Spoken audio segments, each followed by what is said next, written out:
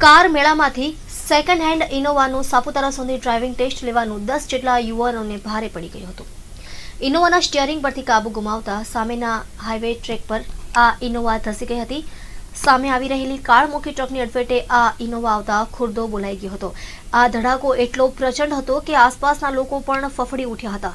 ઇનોવામાં બેસેલા દસ યુવાનોના તો સ્થળ પર જ કમ- કમાટીભર્યા મોત નીપજ્યા હતા. જ્યારે ટ્રકમાં બેસેલા ત્રણ યુવકોને ગંભીર ઇજાઓ પહોંચી હતી રક્ષાબંધનના દિવસે બનેલી આ કમકમાટી ભર્યા અકસ્માતથી સ્થાનિક લોકોના રૂવાડા ઊભા થઈ ગયા હતા. હાઈવે ઉપર મૃતકોની લાશના ટુકડા વેર વિખેર થઈ ગયા હતા. પલસાણા તાલુકાના કડોદરા ગામે રહેતા પ્રમોદભાઈ શર્મા જેઓ ગાડીઓની લે વેચનો ધંધો કરી પરિવારનું ગુજરાન ચલાવે છે. તેઓની ઇનોવા ગાડી number GJ six ED zero double seven સિક્સને વેચવાની હતી.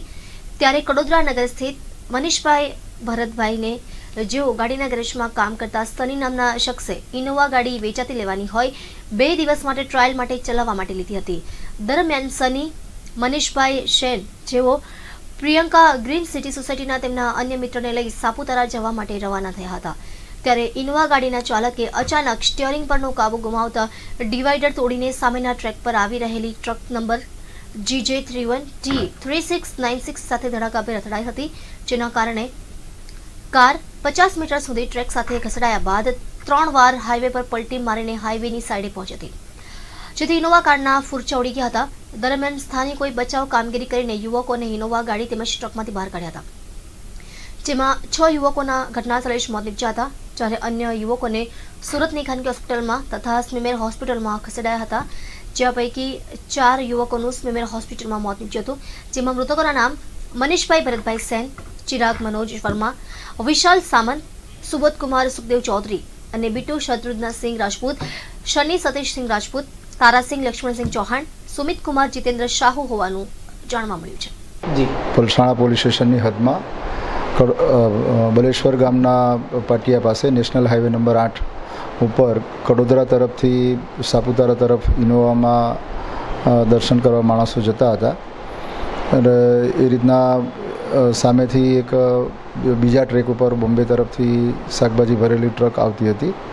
એ દરમિયાન ઇનોવાવાળાએ કાબુ ગુમાવતા સામેના ટ્રેકમાં એમની ગાડી જતી રહેલી. એ જેનાથી આ ગોજારો અકસ્માત થયેલો, જેમાં સ્થળ ઉપર પાંચ માણસોના મોત થયેલા અને સ્થળ ઉપરથી એકસો આઠ અને પોલીસ અને પબ્લિકે સારવાર માટે જે માણસોને રેસ્ક્યુ કરેલા, એ દરમિયાન સંજીવની હોસ્પિટલમાં એક માણસ ઓફ થઈ ગયેલો અને બીજા ચાર સ્મી, સ્મીયર હોસ્પિટલમાં ઓફ થઈ ગયેલા. આમ મૃત્યુઆંક ટોટલ દસનો થયેલો. એ, એમાંથી ટોટલ ત્રણ માણસ ઈજા પામેલા જે છે, એ સારવાર હેઠળ સુરત ખાતે સ્વીમર હોસ્પિટલમાં છે. અત્યારે જે માણસો હતા, એમના સગાવાલાઓને બોલાવીને ઓળખવિધિ ચાલુ છે. પીએમની કાર્યવાહી ચાલુ છે. અને એફએસએલ અને આરટીઓની મદદ લઈ અને સાયન્ટિફિક રીતે આની તપાસ અમે આગળ કરી રહ્યા છીએ. જી સાહેબ સારવાર દરમિયાન કેટલા વ્યક્તિઓ છે હાલ હોસ્પિટલમાં? સ્થળ ઉપર પાંચ માણસો થઈ ગયેલા. સારવાર દરમિયાન બીજા પાંચ માણસો ઓફ થઈ ગયેલા બે હોસ્પિટલમાં થઈને. અને સારવારમાં અત્યારે ત્રણ માણસો સ્મિયર હોસ્પિટલમાં છે.